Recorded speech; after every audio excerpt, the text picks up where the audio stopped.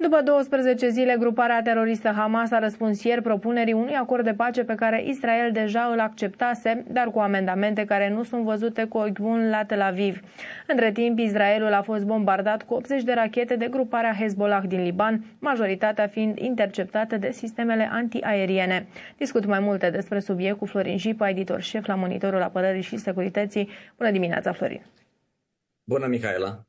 Ce se întâmplă mai exact? Se repetă scenariul din luna mai atunci când Hamas nu a fost de fapt împotriva unui acord de pace, dar a modificat termenii în așa fel încât acesta să fie respins în cele din urmă de Israel.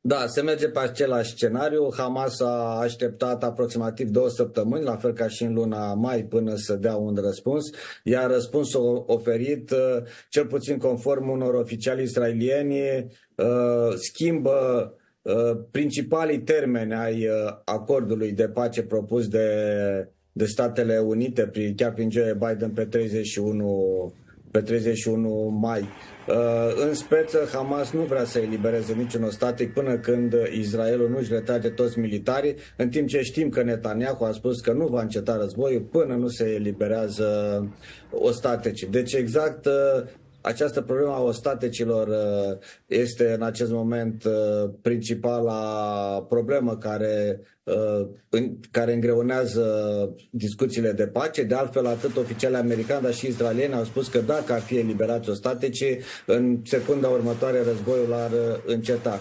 Am a spune și despre o declarație a liderului Hamas, Yahya Sinwar, care a ajuns, a fost redactată ieri, a fost luată după mesajele transmise liderilor Hamas.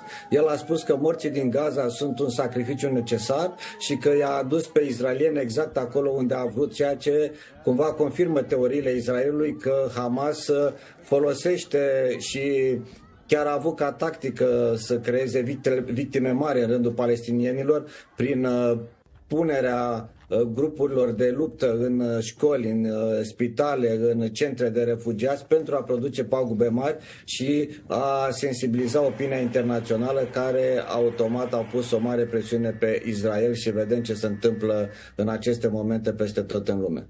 Va fi o misiune grea a lui Anthony Blinken, trimisul Statele Unite și șeful diplomației americane în zonă. Astăzi este în Qatar, tocmai pentru a încerca să găsească o soluție la blocarea negocierilor de pace. Florin, îți mulțumim tare mult pentru informații.